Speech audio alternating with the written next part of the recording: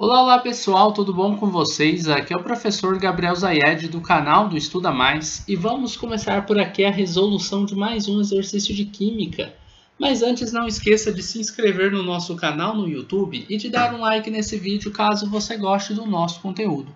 Olha só o que diz essa questão. Determine o número de moléculas existentes em 0,8 mol de glicose e 1,50 mol de ácido nítrico. Aí aqui na frente a gente tem as fórmulas moleculares da glicose e do ácido nítrico. Olha, uma coisa que você tem que saber para resolver esse tipo de questão, de fazer cálculo do número de moléculas a partir do número de mols, é que quando você tem 1 mol, isso significa que você tem 6 vezes 10 elevado a 23 moléculas. Não importa de que molécula a gente está falando.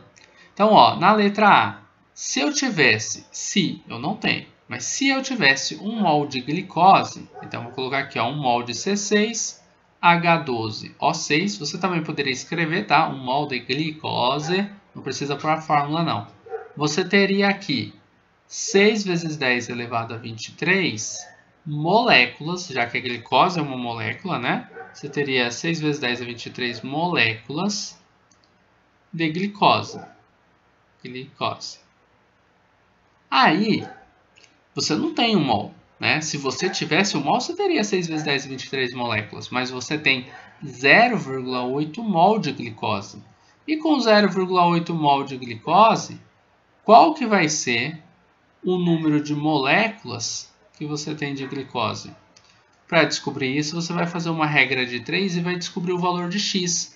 Descobrindo o valor de x, descobre o número de moléculas que você tem de glicose.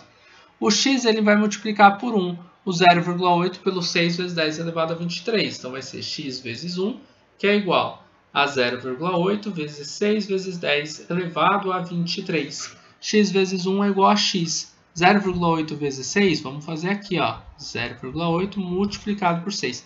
Observem que nessa multiplicação eu não vou utilizar o vezes 10 a 23. Ele vai ficar aqui no cantinho esperando e ele vai aparecer na resposta. 6 vezes 8 vai ser igual a 48. Sobe 4, desce 8. 6 vezes 0 é 0. Mais 4 vai descer o 4 aqui para baixo. Eu tinha uma vírgula aqui deixando um algarismo à direita da vírgula. Na resposta, mesma coisa. Eu deixo um algarismo à direita da vírgula. Resultado é 4,8 vezes 10 elevado a 23. Esse número que a gente calculou, ele é o nosso x. O nosso x é o número de moléculas de glicose, não é?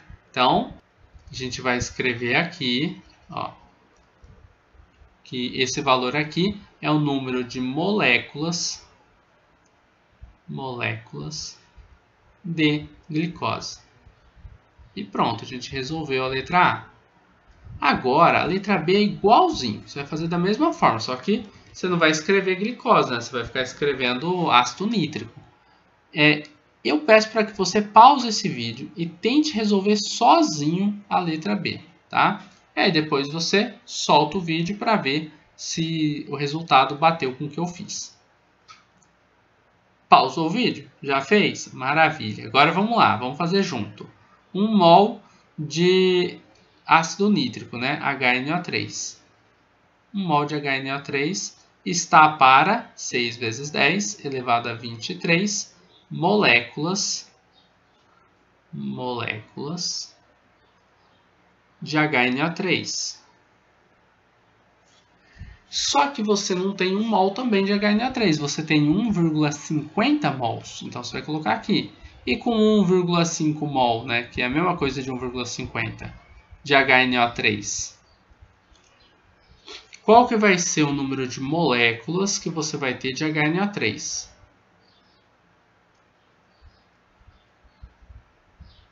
Aí você vai fazer uma regra de 3 para descobrir isso. x vai multiplicar por 1, x vezes 1, que vai ser igual a 1,5 multiplicado por 6, vezes 10 elevado a 23. 6 vai multiplicar por 1,5, x vai multiplicar por 1. Aqui vai dar x, aqui vai dar 9, né? Vamos fazer aqui, ó. 1,5 vezes 6. 6 vezes 5 é 30. 6 vezes 1 é 6, mais 3 vai dar 9. A, a vírgula vai cair aqui, né? Então vai ficar 9 mesmo a gente tem 9 ou 9,0 vezes 10 elevado a 23 moléculas de ácido nítrico. Você está vendo que foi da mesma forma que a gente fez o outro?